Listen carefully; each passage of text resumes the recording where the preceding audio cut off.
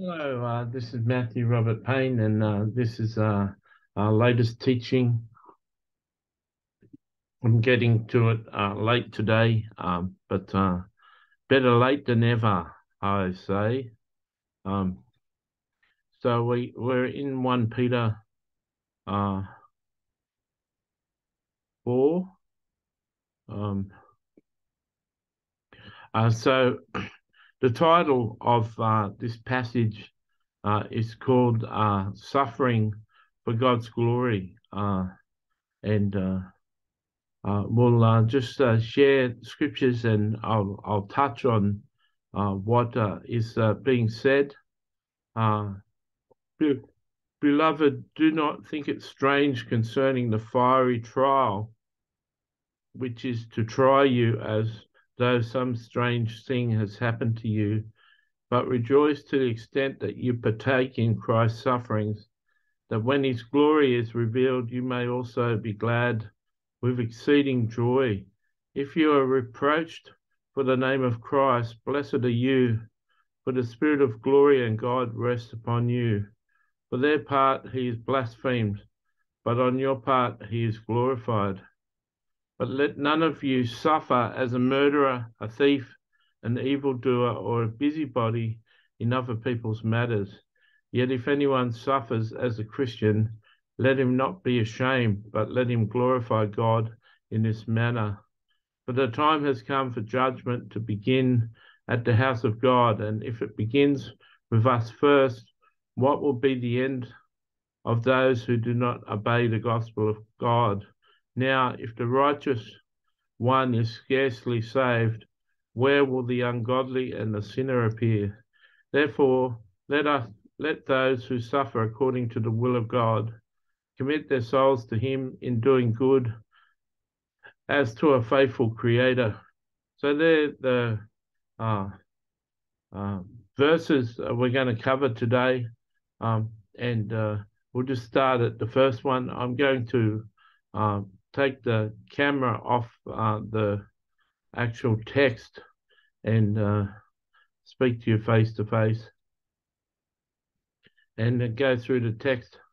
So, beloved, do not think it's a strange. It's it. do not think it strange concerning the fiery trial, which is to try you as though some strange thing has happened to you. Um, I'm sure uh, during the last 2,000 years, uh, that verse has uh, really been of comfort. Um, in uh, Peter's day, uh, the uh, churches got attacked and got dispersed. There was a lot of persecution that came to the early church. And uh, this was somewhat of a warning for that. Um, uh, sometimes uh, you may find uh, you go through uh, fiery trials. Uh, part of the Christian experience is sometimes a suffering and sometimes trials. I read a book on faith one time, and the first seven authors. There was about 20 authors in this book. They each wrote a chapter. I remember the first uh, seven authors of this book on faith said that they would not have uh, developed such strong faith that they had, uh, be it not for the uh, fiery trials that they went through. So uh, going through trials is seems to be uh, the normal thing uh, for a Christian, and uh, God accomplishes a lot uh, of uh, character development uh, for us as we go through trials. Verse 13, but rejoice to the extent ye partake in Christ's sufferings, that when his glory is revealed, that you almost you will all, may also be glad with exceeding joy so James, uh, the, the, Apostle James spoke about uh, having joy in our trials and joy in our tribulations. And Peter is uh, talking about uh, the same uh, thing. Uh, he's also uh, sharing, similar to what Paul said, that he wanted to be a partaker in Christ's sufferings. so um, we all know that Christ suffered on the cross, but Christ also suffered from loneliness and rejection by his peers. And if you develop a good uh, relationship, a conversational relationship where you can talk back and forth to Jesus, uh, you'll find that uh, in his life, in his life on earth, uh, he went through quite a bit of suffering and uh, he was misunderstood and rejected, spoken against. Uh, on the way to the cross, even after he'd been whipped and had his beard pulled out, uh, uh, the people jeered him and the people spat on him and called him names. Uh, so it's not as though uh, many people on earth uh, can suffer in the same way uh, that Christ suffered. but the Apostle Peter says if you do suffer, um, you, you need to rejoice in the fact that you're suffering because you're sharing a portion, you're sharing a little like uh, Christ's sufferings. Verse 14 If you're approached for the name of Christ, blessed are you, for the Spirit of glory and God and of God rests upon you. On their part, he is blasphemed, uh, but on your part, he is glorified. Uh, so, um, when uh, people uh, pick on you uh, because of Christ in your life, uh, they're blaspheming Christ. They're saying things uh, against Christ. And the way that you cope with that, the testimony that you show by turning the other cheek and praying for your enemies and blessing your enemies, the if you demonstrate the character of Christ, then Christ's name is glorified in the whole situation. And uh, that's uh, what uh, Peter is getting there. Uh, they're blaspheming uh, the name of Christ, but your reaction and the way that you behave can lead to people glorifying Christ.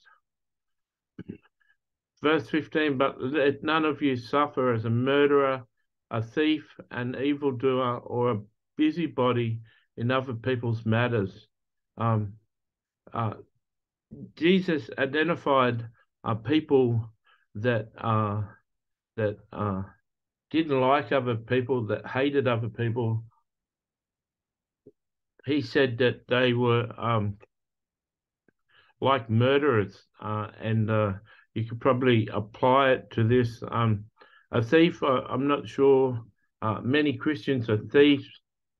many Christians participate participate in different evil things. Um, you could say that uh, a large portion of men I had a problem uh, with uh, pornography, and you can say a large uh, amount of men are addicted uh, to pornography, and uh, you could call them evildoers. But this is an interesting one, or as a busybody in other people's matters. that's a really frequent uh, thing uh, that uh, people uh, do. You know, even people uh, say it in a really holy and righteous way. They uh, say that they're praying for such and such, and such and such is off the rails and doing this and doing this, and they say all these bad things. And they ask other people to join with them in prayer, to pray for this person. Um, that sort of talk about someone else that with the guise of praying for them is being a busybody and and gossiping and uh, it's just not helpful and uh, uh, peter says um, uh, that uh, suffering for the name of christ uh, is a good thing suffering because you're christian and your example is a good thing but uh, suffering because of these other things, um, he says, uh, let, let you not suffer uh, for doing these other things. Verse 16, yet if anyone suffers as a Christian, let him not be ashamed, but let him glorify God in this matter. Um, so uh, when uh, you're uh, picked on uh, by other people, when other people uh, come against you uh, because you're Christian and your Christian witness, your witness, the way you react, the way you behave under that suffering, un under that um, exposure of people picking on you, the way that you react uh, can uh, bring glory to God, to can uh, glorify uh, God and His reputation uh, in front of other people. so there's scriptures that say, uh, "Let let people see your good conduct and see the way you behave, even when you're being persecuted and you're suffering, and you can have your good conduct and the way."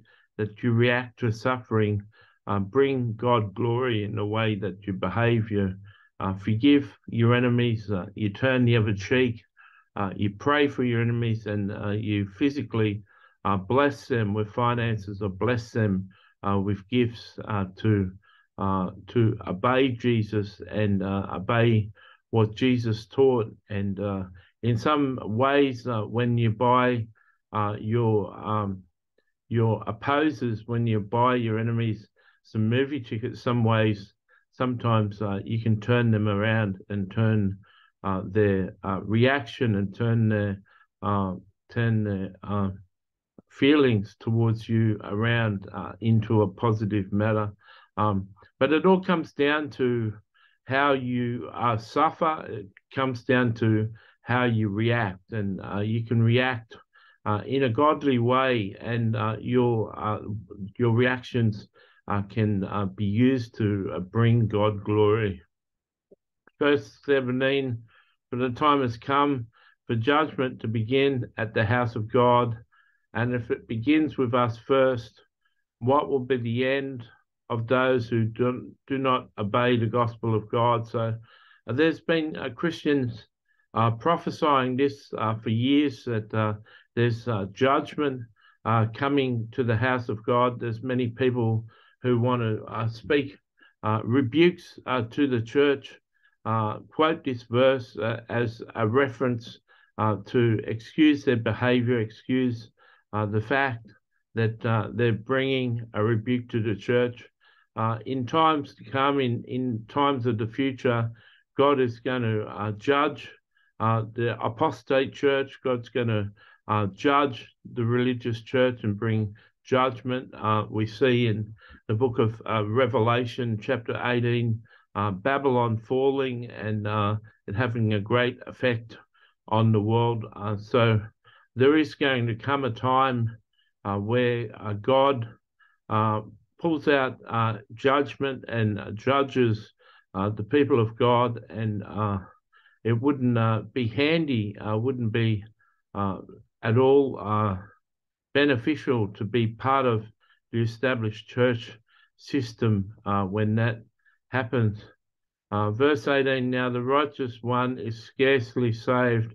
Where will the ungodly and the sinner appear? So uh, when God brings judgment against the church, uh, the, the righteous in the church are barely going to avoid it, he says. So, uh, what uh, part uh, is the ungodly and the sinner going to play? Uh, how uh, how completely are they going to be judged? Verse 19. Therefore, those let those who suffer according to the will of God commit their souls to Him in doing good, as to a faithful Creator. So um, sometimes uh, it's in God's will. Sometimes it's the will of God uh, for uh, people to suffer. And uh, when they are suffering uh, trials and hardships, they should commit their souls, they should commit their lives to God, they should commit their lives to Jesus and continue doing good as to a faithful creator. So, um, it uh, means that uh, when you're under a state of suffering, um, and uh, and being persecuted uh, for your faith. Uh, this scripture is saying that you should commit to doing good to your persecutors, to the people making you suffer. do do good to your persecutors and your enemies, as though you're committing the same acts to a faithful God. So I hope that explains 1 Peter uh, 4, verse 12 uh, to 19. I hope uh, you uh, learn something from that. Uh, Peter, I, I, find, is uh, pretty easy to understand, and I, I, hope that you learn something from today's teaching. Um, God bless you.